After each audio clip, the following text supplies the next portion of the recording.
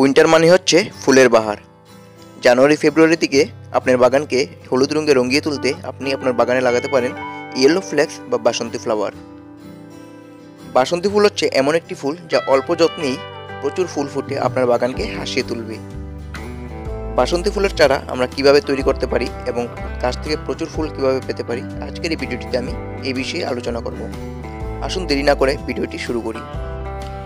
এই গাছে যেহেতু বীজ হয় না, তার জন্য এই গাছের চারা আপনি দুই ধরনের পদ্ধতিতে তৈরি করতে পারেন। প্রথমত আপনি দেখবেন গাছের গোড়ার দিকে অনেকগুলো চারা তৈরি হয়েছে, এগুলি উঠিয়ে রিপোর্টিং করতে পারেন।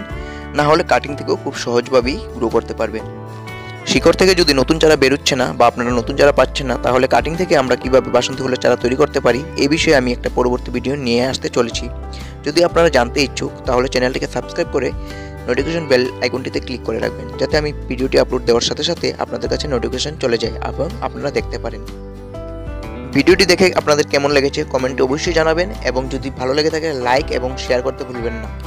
আমার এই গাছটি একটি খোলা জায়গায় আছে, কিন্তু আপনারা যদি এই গাছটি পটে লাগাতে চান, তাহলে অবশ্যই গাছটির জন্য দুয়াশ মাটি তৈরি করে নেবেন। দুয়াশ মাটিতে এই গাছটির গ্রোথ খুব ভালো হয়। এই গাছটির জন্য যখন মাটি তৈরি করবেন, তখন চার ভাগের এক ভাগ নদীর বালি এবং এক ভাগ বার্মি কম্পোস্ট এবং দুভাগ মাটি দিয়ে ভালো করে মিক্সড করে নেবেন। এই গাছটি খুব ঝুপালু হয় এবং গ্রোথ দ্রুত হয়, তার জন্য এই গাছটির জন্য একটু বড় ধরনের পটেই সিলেক্ট করবেন। এই গাছটিকে এমন জায়গায় লাগাতে হবে যেখানে দিনে অন্তত পাঁচ ছয় ঘণ্টা সূর্যের আলো পায়। এই গাছটির জন্য ফার্টিলাইজার খুব একটা প্রয়োজন হয় না। তাছাড়া আপনারা যদি চান, তাহলে কোল পচা জল মাসে অন্তত এক দুবার দিতে পারেন।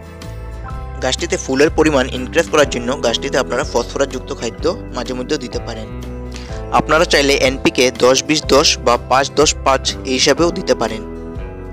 গাছটিতে ফুল এবং কলি আসার সাথে সাথে লেদা পোকা, ক্যাটারপিলার ইত্যাদিকে খুব আকর্ষণ করে। এগুলো থেকে গাছের ফুল এবং কলিগুলোকে বাঁচানোর জন্য মাঝে মধ্যে অবশ্যই কীটনাশক আপনাকে স্প্রে করতেই হবে। না হলে সারা বছরের কষ্ট বৃথায় যাবে, সব ফুল এবং কলি খেয়ে নেবে।